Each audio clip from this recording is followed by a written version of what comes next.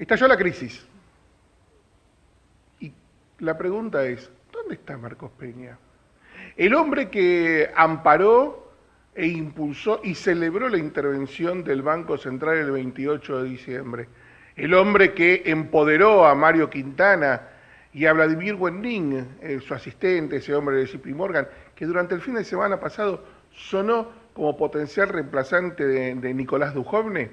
Bueno, esa persona, el jefe de gabinete, no dio la cara.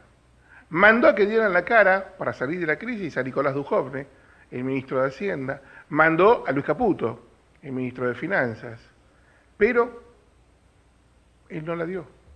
Lo mandó a que, arregle el lío que armó el propio jefe de gabinete a Federico Ortuzonegger, pero él no armó, no salió.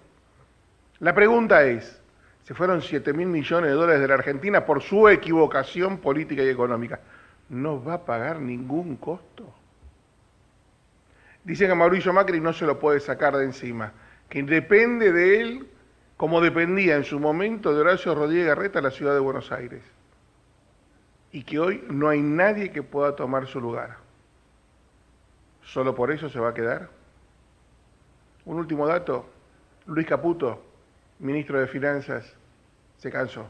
El fin de semana le contó a un par de allegados que ya no quiere seguir más, que va a esperar que pase y se enfríe esta crisis, que se controle y va a pedir salir de su cargo.